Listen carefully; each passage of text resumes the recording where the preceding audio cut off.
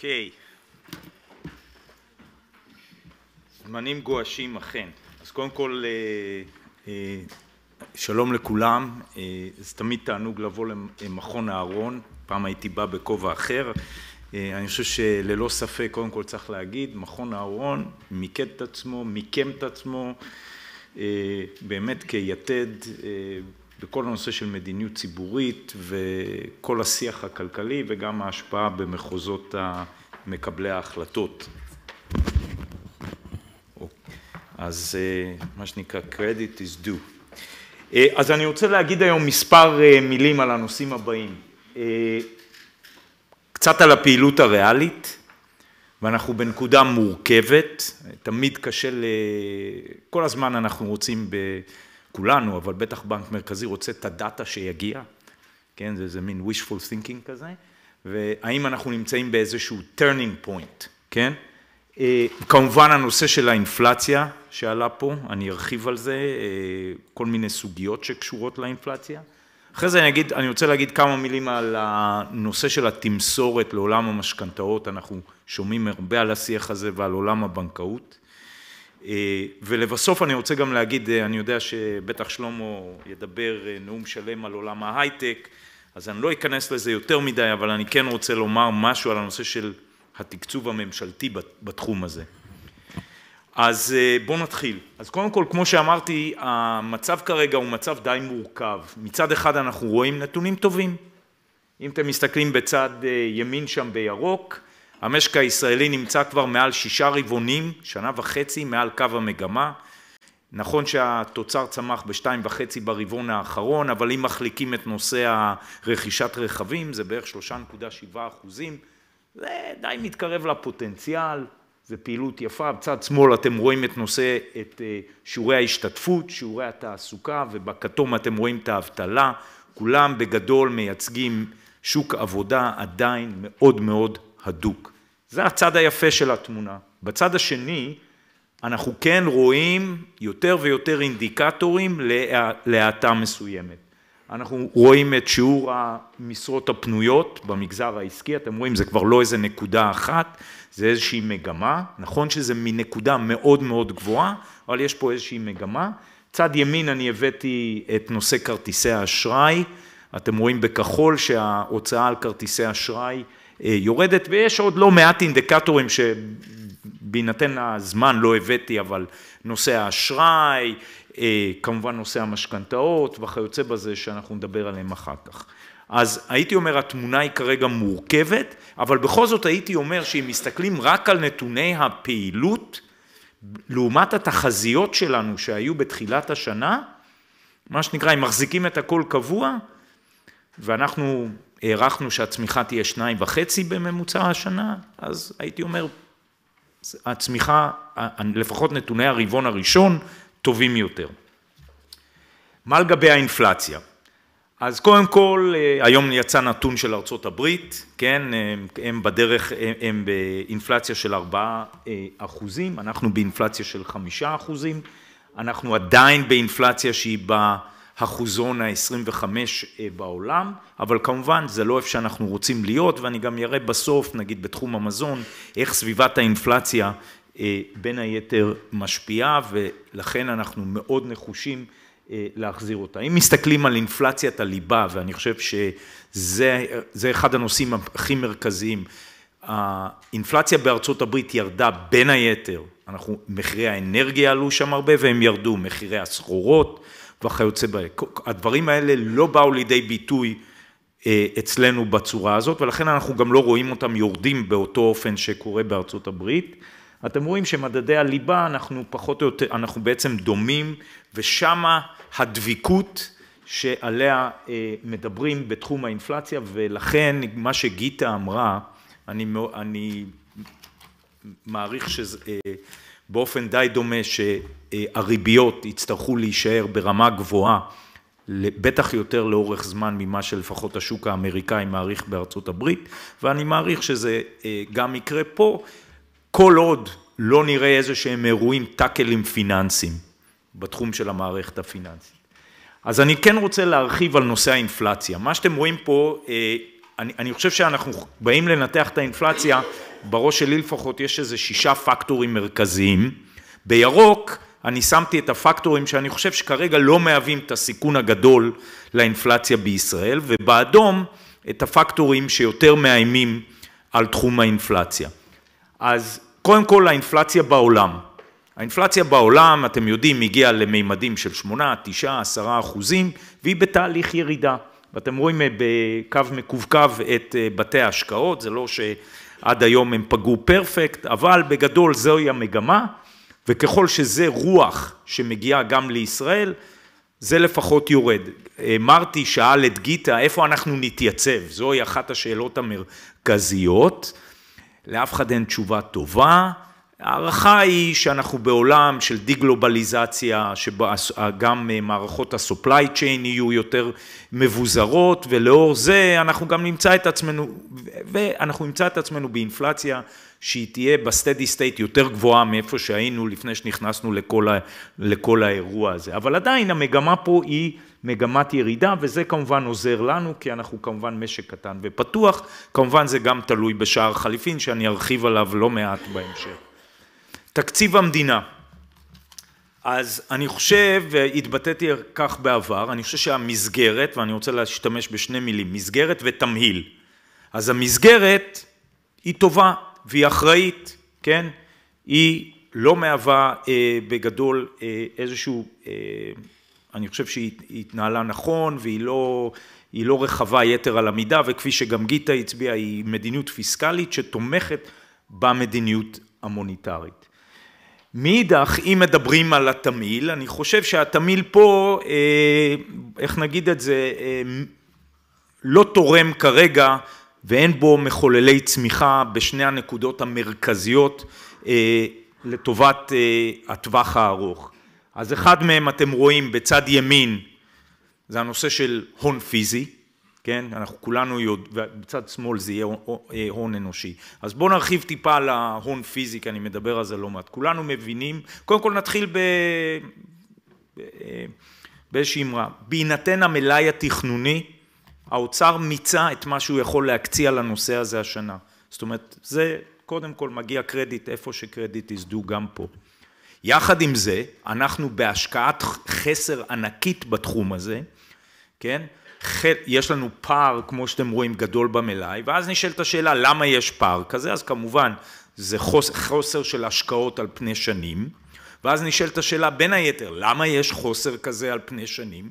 בין היתר, בגלל פער בין פער תכנון, תכנוני ופער תקציבי, כן? אז אחד ההצעות, ואני אמרתי את זה פה כבר לא מעט שנים, ואמרתי את זה בעוד כנסים, ואני אומר, תמיד לוקח את הדוגמה של מס הכנסה שלילי, שבנק ישראל היה צריך להציע את זה במשך שמונה שנים רצופות, עד שבסוף זה אה, הגיע לתכלס, אז אני לוקח עוד פעם אחת ואומר את זה. אנחנו, להערכתי, כדי שלא ייווצרו הפערים התקציביים האלה, כי יש שנים שבהם יש תכנון אבל אין תקציב, ויש שנים שבהם יש תקציב ואין תכנון, זה,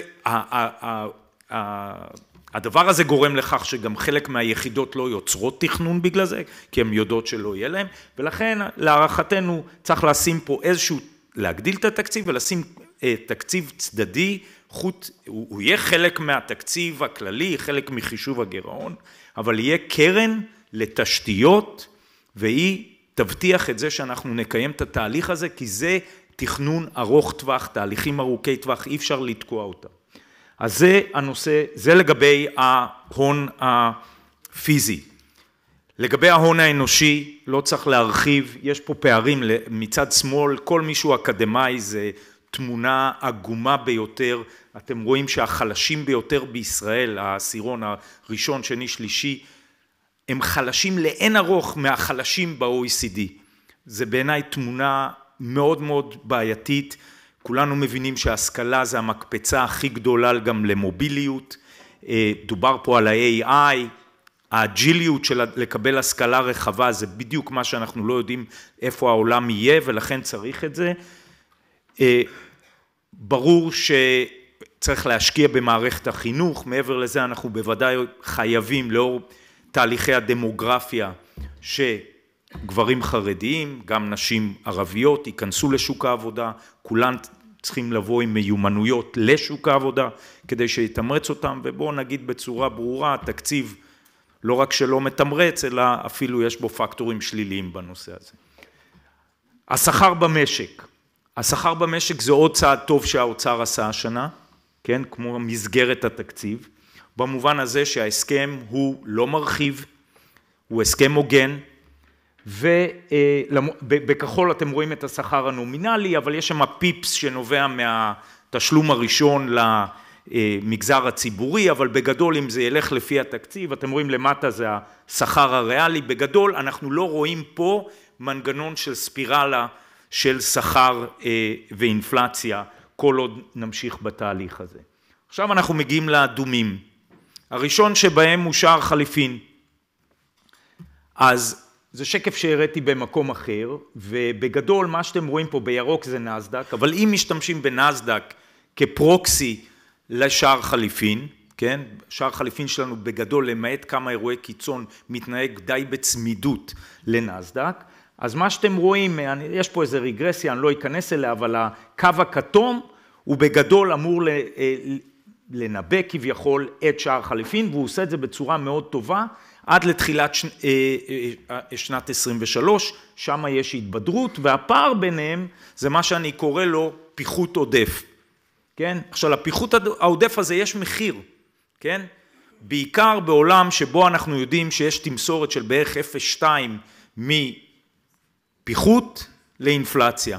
אז פה אתם רואים את המספרים שם בימין, אנחנו רואים שהיום השקל כמובן תוסף ואני תכף אראה לכם שקף שמראה קשר די הדוק בין איך או דעות פורמליות או דעות לגבי איך מתקדם ולאיזה כיוון מתקדמים השינויים החוקתיים.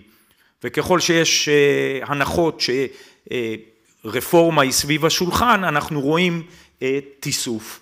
אז הנה השקף הזה ואתם יכולים לראות, בכחול מה שעשינו פה אנחנו ניקינו את החלק של הפיחות או התיסוף מההשפעה של שער חליפין רק מול ישראל ניקינו את החלק של איך הדולר זז לעומת שער המטבעות. זה החלק האפור.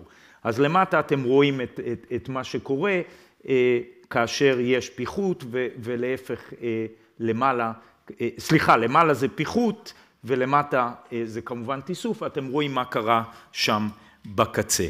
בקיצור, העודף הזה שאני מדבר עליו, אתם מבינים שאפילו בצורה קונסרבטיבית מדובר פה, למרות שאמרתי שהאינפלציה היא חמישה אחוז, גם בצורה הכי קונסרבטיבית יש לנו פה איזה עודף אינפלציה של לפחות אחוז. וזה מאוד משנה, כן? מבחינת הדינמיקה והסביבה. עכשיו אני רוצה לדבר על דיור.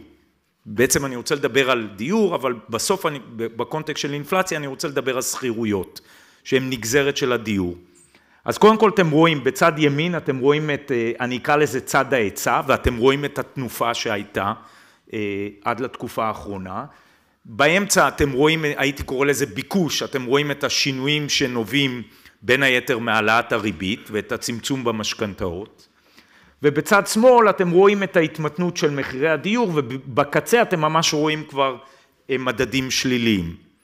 עכשיו, בשלב הראשון מה שאנחנו בדרך כלל רואים זה איזושהי תחלופתיות, אנשים עוברים מרכש לשכירויות, אבל ככל שהתמתנות המחירים תישמר על פני זמן, בסוף זה מגיע גם לשכירויות. ולכן כל כך כל כך חשוב, מעבר לזה שאנחנו רוצים לראות את התמתנות המחירים, זה שמחירי הדיור יתמתנו, אנחנו חייבים שההיצע זה המפתח בהינתן איפה שאנחנו ובהינתן מה שאמרנו קודם, שתנופת ההיצע הזה זאת תימשך. מה שהבאתי לכם זה איזה דאטה סט שעשינו בעצמנו, אבל אתם רואים פה את שיעור המכרזים שאינם נסגרים.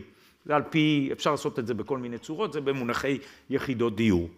עכשיו, השוק הזה כרגע עובר התאמה.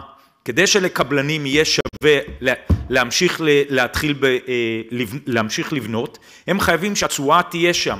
כדי שהתשואה תהיה שם עבורם בעולם שבו המחירים מתמתנים, מחירי הקרקע צריכים לרדת ולהתאים את עצמם. עכשיו, כדי שזה יקרה והתנופה תמשיך, אנחנו צריכים שתהיה התאמה ברמ"י, אלה, אלה הם מכרזים שלא נסגרו, זאת אומרת מחיר המינימום היה גבוה מדי. מי שבאקדמיה מכיר את המושג Revise Resubmit.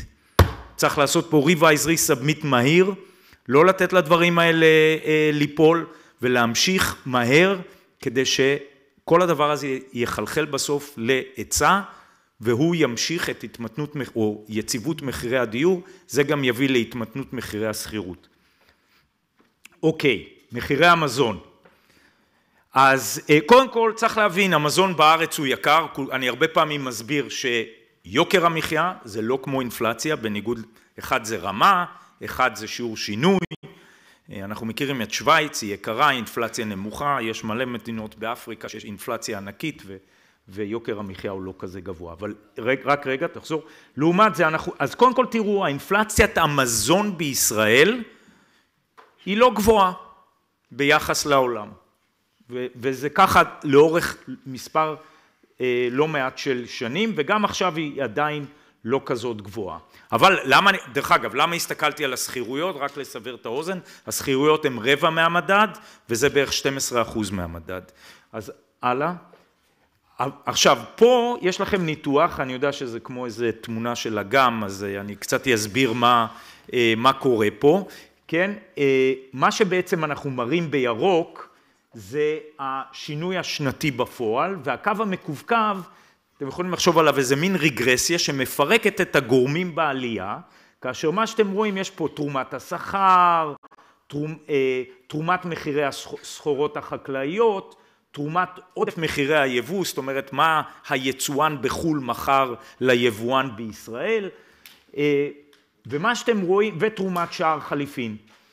אז מה שאתם רואים זה שבתחילת העלייה אנחנו רואים נדבך מאוד חשוב של העלייה בתרומת מחירי הסחורות החקלאיות וגם בתרומת העודף של מחירי היבוא, כן? אבל בקצה שם אנחנו רואים בכחול את תרומת סביבת האינפלציה, כן? וזה אחת הסיבות שכל כך חשוב למגר את האינפלציה, כי אנחנו כבר רואים שזה משפיע על האפשרויות להעלות, להעלות מחירים מעבר אולי פרשנות אחת זה אולי מעבר לעלויות הייצור אה, גרדה. אז בואו בוא נמשיך. אני כן רוצה להגיד, על, דובר על האדיקות של המדיניות המוניטרית. מה שיש לכם פה בגרף הזה, על ציר ה-X יש לכם את מספר החודשים שבהם האינפלציה היא מעל היעד של כל בנק מרכזי, ועל ציר ה-Y יש לכם את הריבית פחות האינפלציה בפועל, זה לא הריבית הריאלית, זה האינפלציה, כן, אז הבטן הזאת היא בירוק נגיד, זה התקופה שהאינפלציה בארצות הברית הייתה תשעה אחוזים והריבית נגיד אחוז, אז זה מינוס שמונה. אז קודם כל אתם רואים שיחסית פעלנו מאוד מהר ובאופן הדוק ביחס ל... אה, ביחס לרוב הבנקים המרכזיים. לישראל יש אה, באופן מוסדי קצת אה, דברים שונים לגבי הדביקות של האינפלציה, אבל אנחנו נמצאים להערכתנו, ובוודאי אם לא היה את בעיית שער החליפין כפי שהסברתי, בנקודה שאנחנו מאמינים שעם כל ההשפעות של הריסון, עניין של זמן יביא את זה שגם אנחנו נראה את האינפלציה אה, באמת אה, מתמתנת. אז קודם כל אני אומר, אנחנו נחושים לעשות ולהחזיר את האינפלציה ליעד, אנחנו נעלה את הריבית אם אנחנו נראה צורך בכך, זה כמובן מאוד תלוי נתונים, וכמובן תמיד תוך האיזון הזה של למנוע פגיעה שאין, שאין בה, אין, אין בה צורך. איך כל זה פוגש את החזאים היום? מצד שמאל אתם רואים את אה, התחזיות של 14 אה, חזאים, אתם רואים שבסוף אי שם ברבעון אה, ראשון של 24 אנחנו רואים את זה פחות או יותר פוגש את היעד, אנחנו עוד מעט יהיה לנו מדד, כרגע רוב השוק רואה את זה פחות או יותר משאיר את האינפלציה בסביבת חמישה אחוזים, אנחנו נראה את זה. והברייק איבנס, הציפיות לשנים קדימה הן אה, נמצאות בתוך תחום היעד וזה כמובן מאוד מאוד חשוב כי זה מקבע את הריבית הריאלית כריבית ריאלית חיובית לאורך כל העקום וזה תנאי לריסון אה, של אה, הכלכלה. אז עכשיו אני רוצה לעבור לשוק המשכנתאות. הרבה, אנחנו, כמובן שאנחנו מקבלים הרבה הערות על הכאב בנושא של העלאת הריבית בתחום המשכנתאות ואנחנו מבינים את הכאב, אנחנו מנתחים אותו, אנחנו גם מנתחים את יכולת ההחזר בכל חיתוך אפשרי. אבל אני כן רוצה להזכיר לאנשים שלאינפלציה יש מחיר גם על המשכנתאות באופן ישיר. אז יש פה סימולציה, אני אעבור עליה ממש מהר, מי שרוצה יכול להסתכל, זה זה איזושהי משכנתה לשלושים שנה שארבעים אחוז ממנה הוא בריבית בצמוד לפריים שזה הרכיב שמיד עולה עם הריבית. יש פה רכיב קבוע של שלושים אחוז ועוד רכיב משתנה. בגדול הירוק זה מה היה קורה והיא נלקחה בתחילת שנת 22 הירוק זה מה היה קורה אם הכל היה עובד לפי התחזיות בשנת 22 זה התשלום החודשי. הכחול זה פחות או יותר מה שקרה בפועל עד עכשיו ובהמשך האינפלציה יורדת לאט לאט לשלושה אחוזים ובהמשך יורדת לשניים ואחרי זה אה, הריבית בנק ישראל יורדת בהמשך לשניים וחצי. מה שחשוב להבין שזה לא איזושהי אמרה שלנו מה יהיה הריבית ומה זה, זה סימולציה ודוגמה בלבד, אבל זה מה שקורה לתשלום. לעומת זה, מה היה קורה אם האינפלציה לא היינו עושים כלום והאינפלציה נגיד הייתה עולה לעשרה, לשבעה אחוזים, חמישה, שבעה אחוזים ומתייצבת סביב עשרה אחוזים.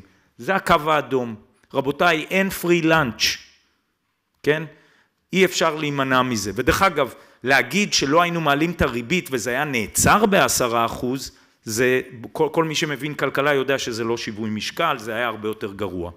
אז זה רק דוגמה מוחשית כדי להבין שהמלחמה באינפלציה למרות הכאב, כן, ולמרות הצורך להעלות את הריבית, וריבית היא כלי רוחבי, לא רק לתחום המשכנתאות, אבל גם בתחום המשכנתאות אנשים היו נפגעים עוד יותר. זה פשוט היה לוקח קצת יותר זמן. אוקיי, אם אנחנו כבר מדברים על המשכנתאות, אם אנחנו כבר מדברים על המשכנתאות, אז בואו נדבר על הצד השני, על הפקדונות, כן? אז קודם כל, הנושא של פקדונות הוא מאוד מאוד חשוב, הוא גם עולה לשיח. בבורדו או באדום אתם רואים את ריבית הפד וריבית הפקדונות בצד שמאל בארצות הברית, לפי זה לא כדאי לכם לשים את הכסף שמה, כן? לעומת זה בישראל הבנקים אה, בהחלט העלו את התמסורת לאחר שישבנו עליהם והיה שיח ובאמת אה, אה, העלו את התמסורת, לקח לזה זמן. עכשיו למה בישראל בין היתר הרווחים כה גבוהים? בישראל צד ההלוואות הוא כולו כמעט בריבית משתנה, למעט אותו רכיב קבוע במשכנתאות, בניגוד לארצות הברית, כן? רכיב המשתנה הוא מאוד גבוה, ושם התמסורת בצד הרווחים הוא מאה אחוז, מספיק שהם מחכים טיפה עם התמסורת בצד הפקדונות והרווחים עלו, יש גם רכיב הצמדה, ולכן קראתי לבנקים, אני ממשיך לקרוא לבנקים כל הזמן להרחיב את התמסורת זה משהו מאוד חשוב. עכשיו בישראל בנוסף לכל שליש מהפקדונות והעו"ש שלא אין בו שום אה, ריבית אתם רואים את חלה תזוזה מסוימת לטובת קרנות כספיות אתם רואים בקצה החלק האדום יורד אבל זה העו"ש חמש 500 אה, מיליארד מתוך 1.4 טריליון יושבים בעו"ש ולכן אני כבר תקופה ארוכה יושב מול הבנקים, קורא להם ואומר להם, אתם חייבים, א', קודם כל לידע את האנשים שהכסף ש... יושב שם סתם, כן? לתת להם את האפשרויות הללו. ואנחנו רואים תחילה של מסע של הבנקים בתחום הזה, חלק היום אה, גם מתחילים לתת ריבית על העו"ש והבנקים יודעים, אנחנו אמרנו אם יש לכם תקופה ואם לא אנחנו נפעל בכלים הרגולטוריים שלנו כדי שהדבר הזה יקרה. אז הלאה, אז אה, אני כן רוצה לומר משהו, צביקה פה והוא כבר אה, מה שנקרא אה, זוכר את הדברים האלה עוד מתקופתו, אפרופו דיברתי על הריבית משתנה דרך אגב, חלק מהיכולת לעשות עמלת פירעון מוקדם ולשנות את כל מה שנקרא ניהול הסיכונים אם אתה בריבית קבועה זה היכולת שיהיה לך אה, מה, שנק, מה שנקרא אה, חוזי החלף ארוכי טווח. כדי שיהיו חוזי החלף ארוכי טווח רצוי שיהיה שוק איגוח בריא. אז קודם כל זה לכשעצמו היה משנה את החשיפה אה, לרכיב הזה. אבל אני חושב שהאיגוח הוא הרבה הרבה יותר חשוב ובסיסי אנחנו מדברים על חברות כרטיסי האשראי והיכולת שלהם לגייס בזול, אם היה פה איגוח הם היו מגייסים בזול. חברות ליסינג, כן, אני לא אכנס, מי שרוצה שאחרי זה יסתכל בוויקיפדיה מה זה איגוח, או שישלח לנו אימייל, נשמח לשלוח לו, כן, מה ההסבר, אבל האיגוח זה היכולת בעצם למכור את תזרים המזומנים שלך בצורה, ובעצם בגלל שזה נמכר והסיכון הולך על הרבה שחקנים, המחיר יורד, וזה ה-game changer הכי גדול שיכול להיות במערכת הפיננסית, לצערי הוא כל פעם מצליח להתחמק מחוק ההסדרים, הגיע הזמן לשים את זה על השולחן, זה בשלבי חקיקה מתקדמים, צריך לגמור עם זה. מגזר ההייטק, וזה אני ממש בסוף, אז קודם כל אני לא צריך להכביר במילים כמה הוא חשוב, אני חושב שהשקף הזה מבלי שאני אכנס לפרטים מסביר את הכל. אנחנו רואים בתקופה האחרונה שינוי מסוים בין נסדק, אתם רואים בצד ימין, לבין הגיוסים בישראל. עכשיו זה נכון, הגיוסים יורדים בכל העולם, אתם רואים את הצמידות של הכחול והכתום, אבל זה הרבה, זה מעבר למה שקורה בעולם. בצד שמאל אתם רואים את היחס בין השינוי בגיוסים בישראל לעומת השינוי בגיוסים בחו"ל, יש פה דלתא שאין ספק שהוא קשור לסביבת אי הוודאות שנוצרה פה, שרפי דיבר עליה, ואני בטוח ששלמה ירחיב עליה.